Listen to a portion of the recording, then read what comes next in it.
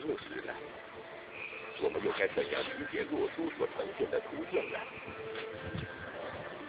台湾师范大学孙世强教授将带领我们一起感悟易经的智慧。敬请关注第二集《神龟在书》。我们今天很方便、很自然就讲述“图书”这两个字。实际上，图是图，书是书。图是图像，书是书文。当然，这个文呢，最早是加上绞丝旁，因为它是花样，还不是文字。你看河图，它用的是图，可是乐书呢，它就用书。河图乐书，然后河乐文化里面就有图书，就是这么来的。神龟复苏，有一只神龟，它不在黄河，它在洛水。为什么它不在黄河？因为通通在黄河，啊，就让我们感觉到说，什么事情都是固定的，不是没有变化的。它为了让我们知道，你有不易，你必须要想到变异；你有固定，你一定要想到不定。也就是你变。会有不变，不变会有变，有这样的一个概念。所以神龟它不选黄河，它选洛水，而且不再是用黄河出现的龙马。如果又一次龙马出来，那我们也许不去注意。所以它这是用神龟，在龟甲上面，它会有一些花样。那我们把它叫做落书。为什么都用落图呢？你就是从这里感受到说，要有点区隔，要点不一样，要点变化。所以我慢慢就了解到说，河图是金，然后落书是权。河图是先天，落书就是后天。河图是体，落书就是用。像这些观念呢，就是从河图洛书，要用心去体会，你自然会感觉到说，哎，这都是天意呀，这是老天对我们太好了。天垂象，我们人去向他学习，所以叫天人之学。河头有河图，洛洛书呢，当然也有啊，洛书有，你看。代九立一，左三右七，二四为剑，六八为足，五在中央。我们先看第一句话，戴戴帽子，就在它在上面。上面是个九，没有九字啊，没有错，它就是九个白点。那为什么要白点呢？因为它是阳数，它是天数嘛，它是奇数嘛，所以白的。你如果连这个都变的话，那人类就混了，搞不清楚。可见该变的才可以变，不该变是不能变。带就是上面带的是九这个数字，它用九个白点来表现。离呢，离就是脚踏的，那这是下面了，下面是一，一用一个白点，为什么？因为它也是天数，也是奇数，也是阳数。上下不是阳数，那左右呢？左三右七还是阳数。二是为肩，二是阴主，所以二它用两个黑点来表示，而四呢用四个黑点来表示。六八为足，底下的旁边一个六一个八，也就是黑点。最后这句话跟河图又一模一样。他说：“不在中央，中央不能变。那十跑哪里去了？十不见了。你看，只有一二三四五六七八九，十没有。这个更重要。同样是河图洛书，同样是天垂象，可是河图它有十个，而洛书呢，它就九个，这是个道理。河图洛书常常相并而起，不仅同为天垂象，而且也共为易经之源。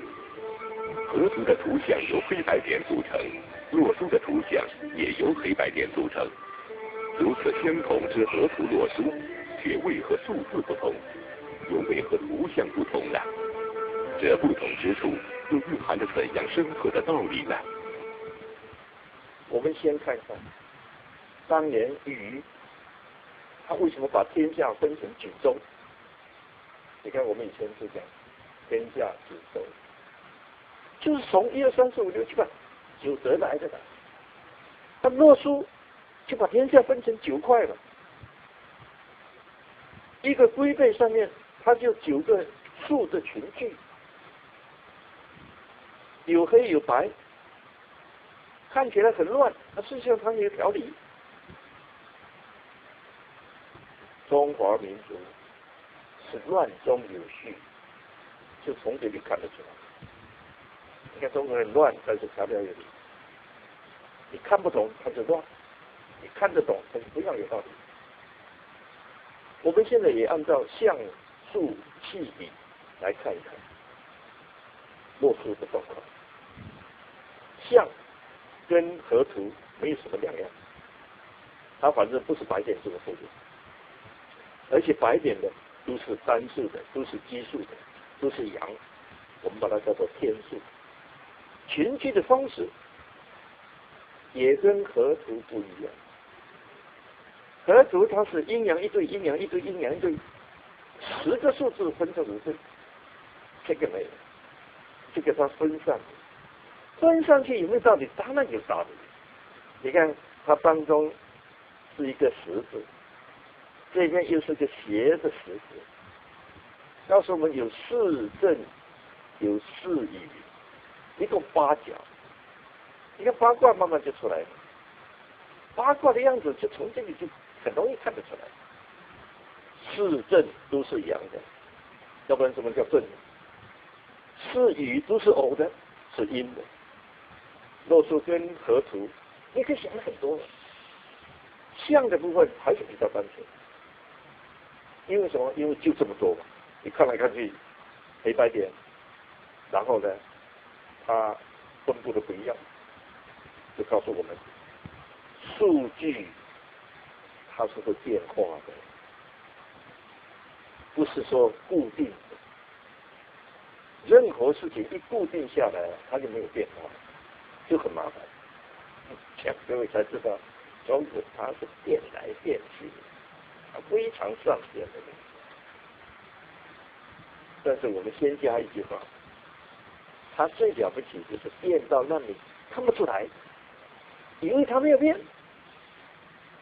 而最后骗自己说我不会变，我没有变，让各位更深一层了解，孔子没有叫我们不要骗别人，他只告诉我不要骗自己。那叫无自欺的，不要骗自己。数一不一样，数大部分是一样，一三五七九是奇数，是阳数，是天数；二四六八是偶数，是阴数，是异数。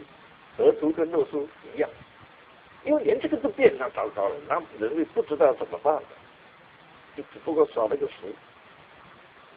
洛书与河图看起来图像不一样，但实质上意义相同。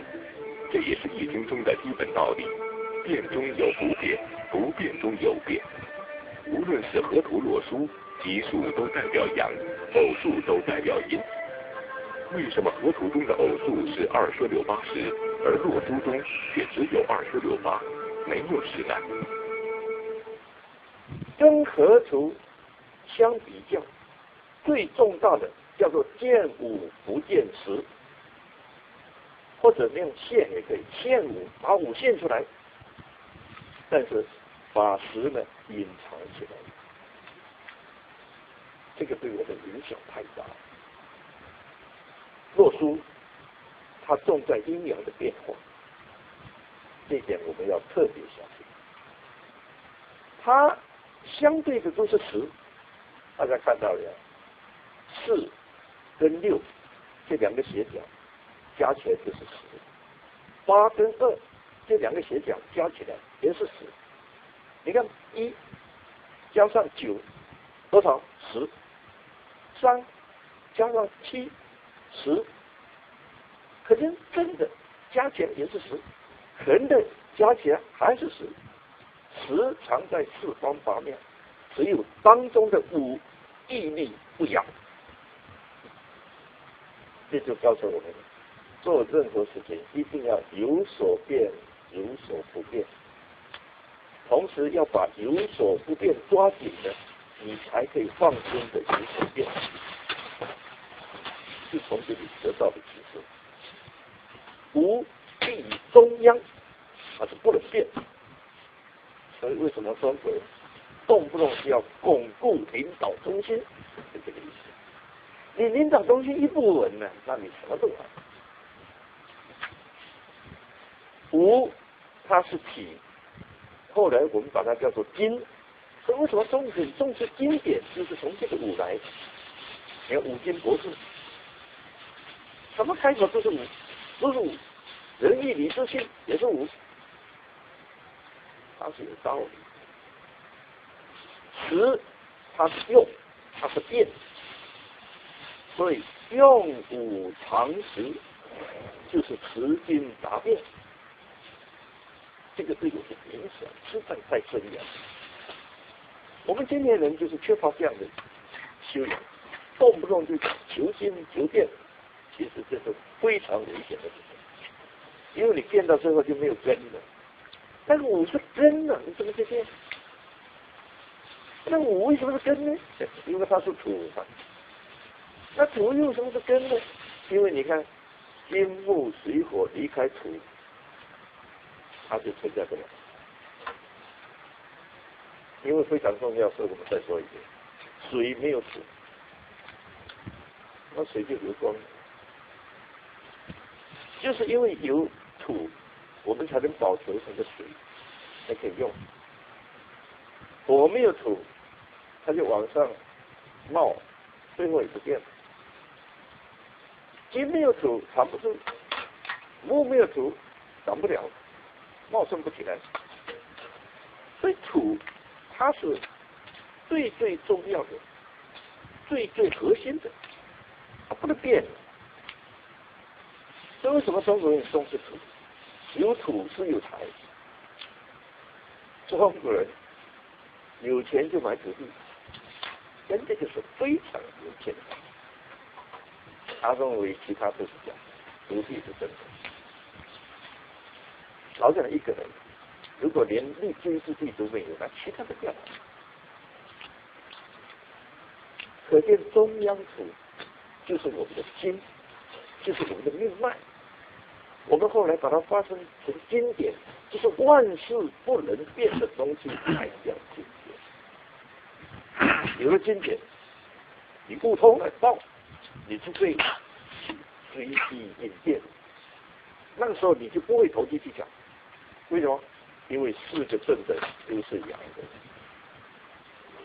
洛书中的见物不见实，不仅蕴含着持经达变的深刻道理。而且告诉我们，只有万事不变的东西，才能被称之为经典。洛书中同时也包含着五行，而五行就是气的运行方向。那么洛书中的五行与河图是否相同呢？气，它的运行跟河图是比较大的。你看一到三，它是阳气的运行。阳它是顺时的，可是七到九呢，明明呢，它就是逆行，它两个连不起来。照理说应该一三五，然后九七，那才是阳的顺的路。可现在他把七跟九给你对调过来，对调过来，他就告诉你，就有一个这，一个是逆，因此他就告诉我们，一个人。最好从小都走正道，可是这是不太可能的。各位想想看，如果每个人一生出来，你也不用教育他，他也不用学习，他自自然然就走正道。那人类跟动物一样，环境跟动物一样，那就是按照本能而行事，那就没有什么自由意志了，没有什么自主性的，那更谈不上什么创造的，那宇宙怎么会进步？这一点是我们必须要说出来的。人跟野兽不同，人跟动物不同，就是人有不一样的秉性，或者叫做天性。你可以改造，但是不能乱改；你可以求变，可是不能乱变。讲的对，所以他告诉我们：你如果阳，你顺行没关系；那如果搞错了，不知不觉或者不得已，比如说被逼的，你逆行怎么办？也没有关系，你就要补救就好了。这样才会产生意见这个无休的观念。现在大家慢慢知道了，阳它是顺时针，只要你活着，你就顺着阳的途途径去走，这样是好的。可是你万一走逆的，那难道你就死了吗？那就活不了了？你走逆的，那你再走一遍就好了，有什么关系的？所以我们慢慢就知道了，一个人要成功。他可以顺取顺受，他也可以逆取顺受。很多人是逆取顺受，没办法，机会人家都霸占了，资源人家都掌握了，我就跟你乱来呀。就是当我有一点点东西的时候，我就开始守正，那就叫守正，就叫守中，中就是什么意思？就是当我的脚步嘛，那这样你就完全想通。你可以顺行，也可以逆行，但是你不管是顺行逆行，你想尽办法，最后要回归正向。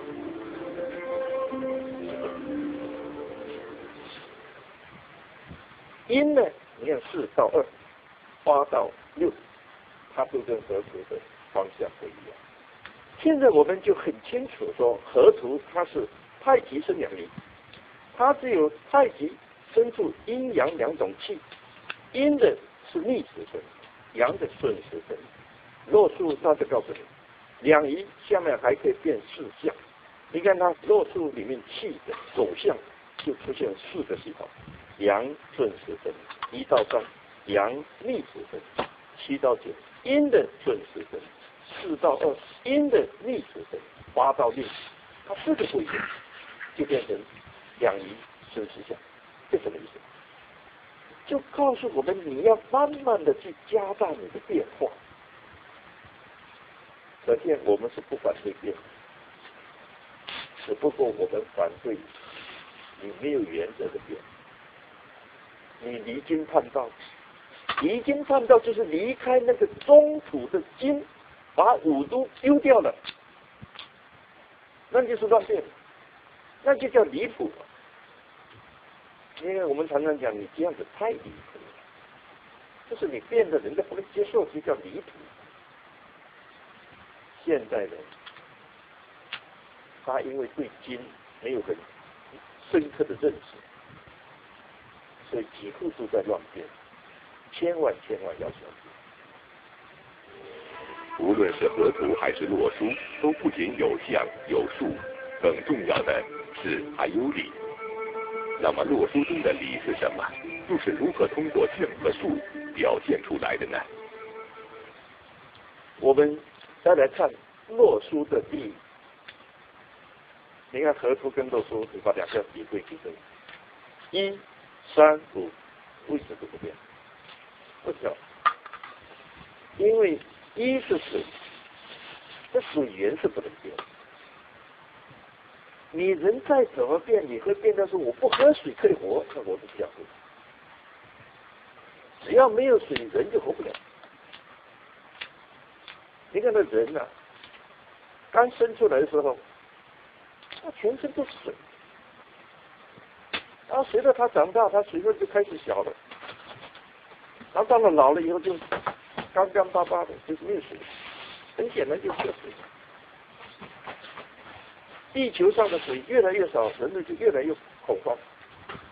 人体里这个水越来越小，这个人就越来越衰弱。水是生存的源头，所以我们动不动就讲饮水思源，饮水思源，就说明一是不能动。那一是么？一就是太极，当然不能动。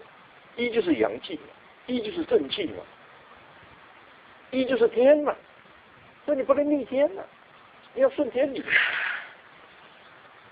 怎么说？山是什么？山是木。为什么三是木呢？因为它是东方嘛。东方是太阳起来的，而这个木头它最需要就是太阳光带来的光合作用，让它能够生生不息。所以东方跟西方它为什么有不同？就是它的生气。有点不一样。三木头，木头是代表身体的。所以你看，人类自古以来，他是找到一，找到三，叫做什么？土、水、草和金。一座山，你远远看到就上草到了，你会不会去？不晓得。如果上面一根草都没有，你会去吗？你去它干嘛？不是冻死就是饿死。哎，山上树木很繁茂，你就放心的去了吧。因为它木能够长得这么好，里面一定有水。那有水有木，你就可以活的。因为木可以生火，而水呢可以供应你饮用。生活有了水火，当然就差不多了。所以一跟三它不会变，那五更不能变，因为五是土。是你的立锥之地，是你生存的一个根基。所以为什么一三五它为什么变？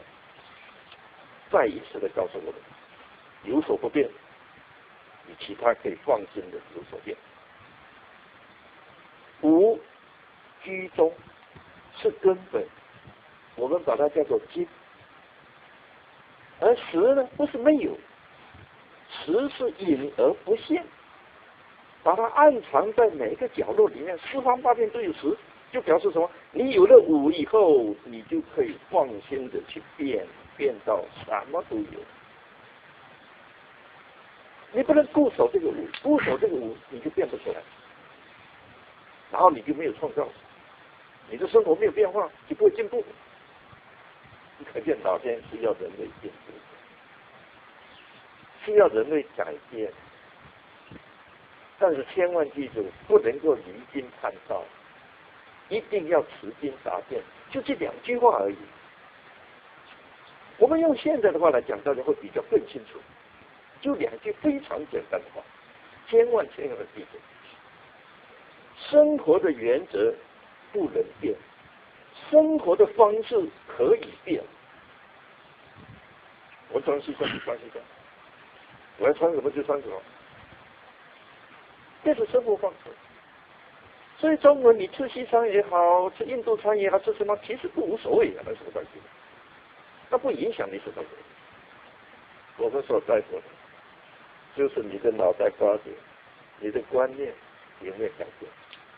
如果你的观念改变了，改变的不像一个中国人了，那就叫反了，那就已经是乱变了，就这么简单。